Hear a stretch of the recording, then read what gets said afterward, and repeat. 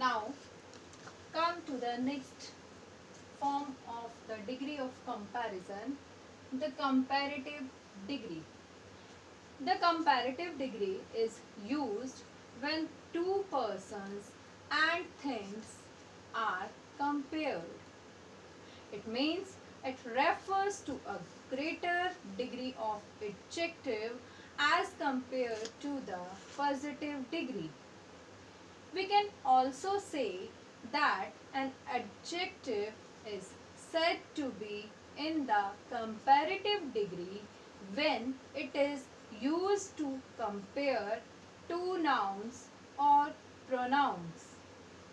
It expresses that a quality is present to a greater or lesser degree in one of the two persons or things being compared. We always use than with the comparative degree of an adjective. Dear students, to form the comparative degree, ER is added to one syllable adjectives. The word more or less is used with adjectives having three or more syllables. With two syllable adjectives, ER or the word more or less is used. Look at these examples. Madhav is stronger than Raghav. Pranav is younger than Parth. Her house is bigger than my house. Rita is cleverer than Mona.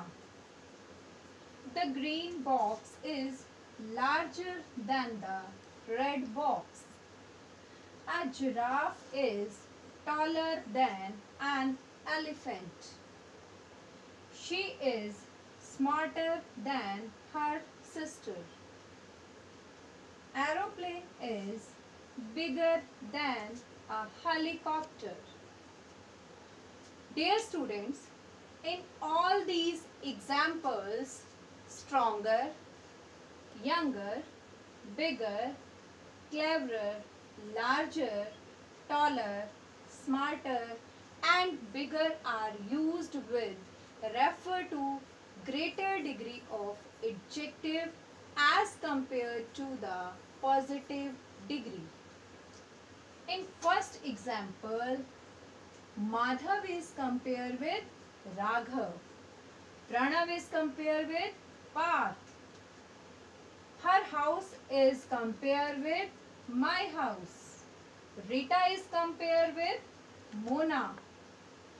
The green box is compared with the red box.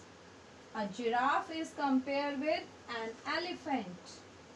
She is compared with her sister. And aeroplane is compared with a helicopter. These words are used to compare two nouns or pronouns.